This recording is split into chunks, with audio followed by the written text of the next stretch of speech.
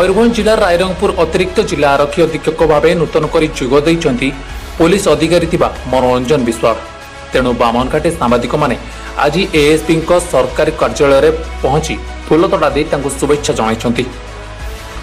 ନବନିଯୁକ୍ତ ଏଏସ୍ପି ମନୋରଞ୍ଜନ ବିଶ୍ୱାଳ ମଧ୍ୟ ବାମନଘାଟି ଓ ପଞ୍ଚବଡ଼ ଉପଖଣ୍ଡବାସୀଙ୍କୁ ଗଣମାଧ୍ୟମ ଦ୍ୱାରା ଶୁଭେଚ୍ଛା ଆଉ ଶୁଭକାମନା ଜଣାଇଥିଲେ। ଏହି ବିଶାଳ ଭୂଖଣ୍ଡର ଆଇନ ଶୃଙ୍ଖଳା ବରିଷ୍ଠ ନାଗରିକଙ୍କ ସମସ୍ୟା ଦିବ୍ୟାଙ୍ଗ ମହିଳା ଶିଶୁ ବା ଅବହେଳିତ ଜନତାଙ୍କ ସମସ୍ୟାକୁ ପ୍ରାଥମିକତା ଭାବେ ଗ୍ରହଣ କରି ତ୍ୱରିତ ସମାଧାନର ପଦକ୍ଷେପ ନେବେ ବୋଲି ପ୍ରତିଶ୍ରୁତି ଦେଇଛନ୍ତି।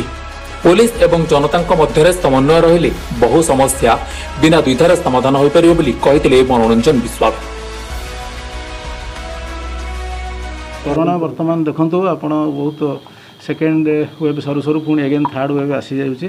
ତେଣୁ କରୋନାରେ ବହୁତ ଭୟଙ୍କର ଇଏ ରୋଗ। ତେଣୁ ଆମେ ନିଶ୍ଚିତ ଭାବରେ ସଚେତନ ହେବା। ମୁଁ ଆପଣମାନଙ୍କ ମାଧ୍ୟମରେ ସମସ୍ତ ଏ ଅଞ୍ଚଳର ଗୁଣୀ ଜ୍ଞାନୀ ମାନି ବୁଦ୍ଧିଜୀବୀ ଆଇନଜୀବୀ ସମାଜସେବୀ ଓ ସମସ୍ତ ସିଭିଲ୍ ସୋସାଇଟିର ସବୁ ଲୋକଙ୍କୁ ମୁଁ ଆପିଲ୍ କରିବି ଯେ ନିଶ୍ଚିତ ଭାବରେ ସେମାନେ ମାସ୍କ ପିନ୍ଧିବେ ସୋସିଆଲ୍ ଡିଷ୍ଟାନ୍ସ ମେଣ୍ଟେନ୍ କରିବେ ଏବଂ ଅଯଥା ଆବଶ୍ୟକ ନଥିଲେ ବାହାରକୁ ବାହାରିବେ ନାହିଁ।